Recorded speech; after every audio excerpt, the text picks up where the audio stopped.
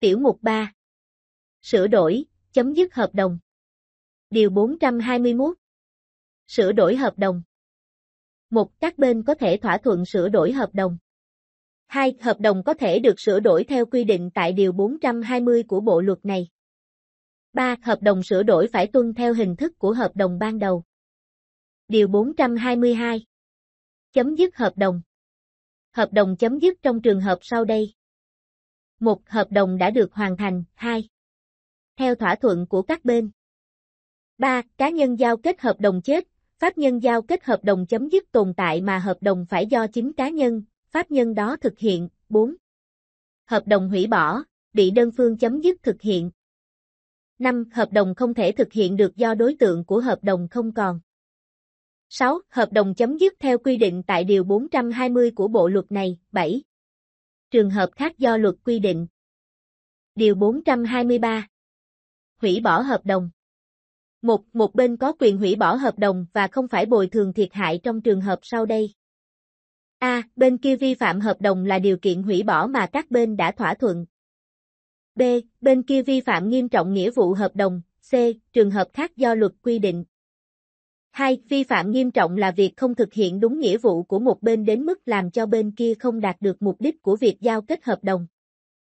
3. Bên hủy bỏ hợp đồng phải thông báo ngay cho bên kia biết về việc hủy bỏ, nếu không thông báo mà gây thiệt hại thì phải bồi thường. Điều 424 Hủy bỏ hợp đồng do chậm thực hiện nghĩa vụ.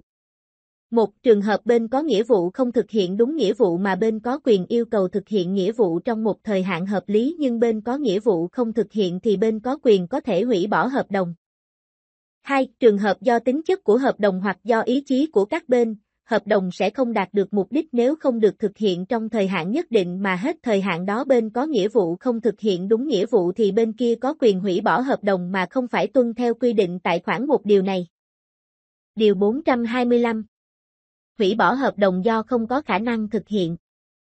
Trường hợp bên có nghĩa vụ không thể thực hiện được một phần hoặc toàn bộ nghĩa vụ của mình làm cho mục đích của bên có quyền không thể đạt được thì bên có quyền có thể hủy bỏ hợp đồng và yêu cầu bồi thường thiệt hại. Điều 426 Hủy bỏ hợp đồng trong trường hợp tài sản bị mất, bị hư hỏng. Trường hợp một bên làm mất, làm hư hỏng tài sản là đối tượng của hợp đồng mà không thể hoàn trả, đền bù bằng tài sản khác hoặc không thể sửa chữa, thay thế bằng tài sản cùng loại thì bên kia có quyền hủy bỏ hợp đồng.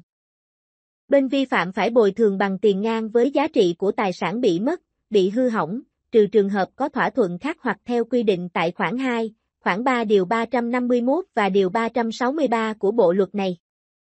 Điều 427 Hậu quả của việc hủy bỏ hợp đồng một Khi hợp đồng bị hủy bỏ thì hợp đồng không có hiệu lực từ thời điểm giao kết, các bên không phải thực hiện nghĩa vụ đã thỏa thuận, trừ thỏa thuận về phạt vi phạm, bồi thường thiệt hại và thỏa thuận về giải quyết tranh chấp. 2. Các bên phải hoàn trả cho nhau những gì đã nhận sau khi trừ chi phí hợp lý trong thực hiện hợp đồng và chi phí bảo quản, phát triển tài sản. Việc hoàn trả được thực hiện bằng hiện vật. Trường hợp không hoàn trả được bằng hiện vật thì được trị giá thành tiền để hoàn trả. Trường hợp các bên cùng có nghĩa vụ hoàn trả thì việc hoàn trả phải được thực hiện cùng một thời điểm, trừ trường hợp có thỏa thuận khác hoặc pháp luật có quy định khác. 3. Bên bị thiệt hại do hành vi vi phạm nghĩa vụ của bên kia được bồi thường. 4. Việc giải quyết hậu quả của việc hủy bỏ hợp đồng liên quan đến quyền nhân thân do bộ luật này và luật khác có liên quan quy định. 5. Trường hợp việc hủy bỏ hợp đồng không có căn cứ quy định tại các điều 423, 424, 425 và 426 của bộ luật này thì bên hủy bỏ hợp đồng được xác định là bên vi phạm nghĩa vụ và phải thực hiện trách nhiệm dân sự do không thực hiện đúng nghĩa vụ theo quy định của bộ luật này, luật khác có liên quan. Điều 428 Đơn phương chấm dứt thực hiện hợp đồng một, một bên có quyền đơn phương chấm dứt thực hiện hợp đồng và không phải bồi thường thiệt hại khi bên kia vi phạm nghiêm trọng nghĩa vụ trong hợp đồng hoặc các bên có thỏa thuận hoặc pháp luật có quy định.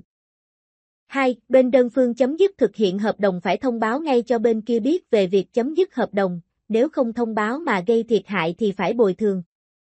3. Khi hợp đồng bị đơn phương chấm dứt thực hiện thì hợp đồng chấm dứt kể từ thời điểm bên kia nhận được thông báo chấm dứt. Các bên không phải tiếp tục thực hiện nghĩa vụ, trừ thỏa thuận về phạt vi phạm, bồi thường thiệt hại và thỏa thuận về giải quyết tranh chấp. Bên đã thực hiện nghĩa vụ có quyền yêu cầu bên kia thanh toán phần nghĩa vụ đã thực hiện. 4. Bên bị thiệt hại do hành vi không thực hiện đúng nghĩa vụ trong hợp đồng của bên kia được bồi thường. 5. Trường hợp việc đơn phương chấm dứt thực hiện hợp đồng không có căn cứ quy định tại khoản một điều này thì bên đơn phương chấm dứt thực hiện hợp đồng được xác định là bên vi phạm nghĩa vụ và phải thực hiện trách nhiệm dân sự theo quy định của bộ luật này, luật khác có liên quan do không thực hiện đúng nghĩa vụ trong hợp đồng.